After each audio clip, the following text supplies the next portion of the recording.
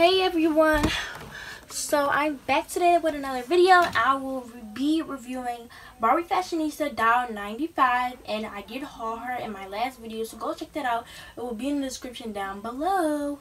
But before we get into unboxing this doll, you know, subscribe, leave a like, leave a comment.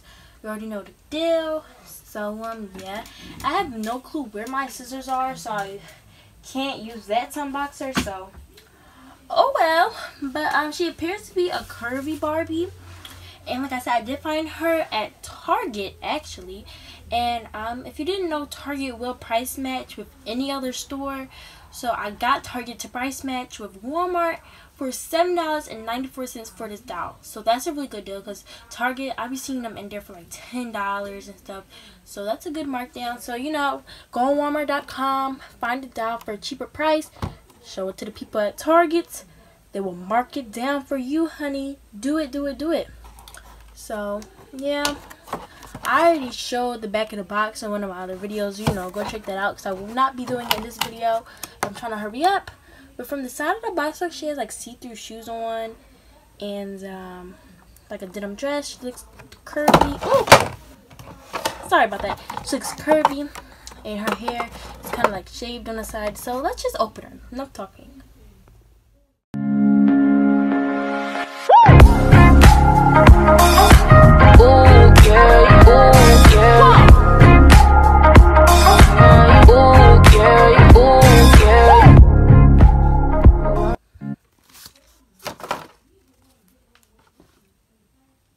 So everyone, I got her all out of the box. Um, it wasn't really easy actually to get her out of the box. She's really pretty. Um, so the hair, I just want to show you guys the hair. You know, in these videos, I don't go into too much detail. I just kind of give you an overview. But her hair is like in a twisted bun here. And um, is like out in the back. Kind of like a tight ponytail thing in the back. Um, I really don't like that. I wish that this bit of hair was inside of the bun instead of just hanging out like that, but it's fine. You know. Oh my gosh. So yeah, I gotta I gotta kind of make this quick because I'm about to leave out. So here's her earrings. Um, she got like a little ruffle here on the dress. So, you know, it does have Velcro in the back. A little bit of distressing. Um, her shoes are really cool. They're actually see-through, kind of. So, really enjoyed that about the doll. You know, basic articulation like every fashionista pretty much has. Um, you know, moving up the head. And uh, arms.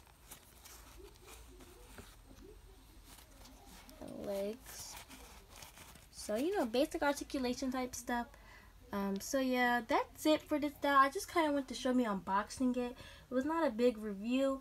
I was thinking about naming her Simone.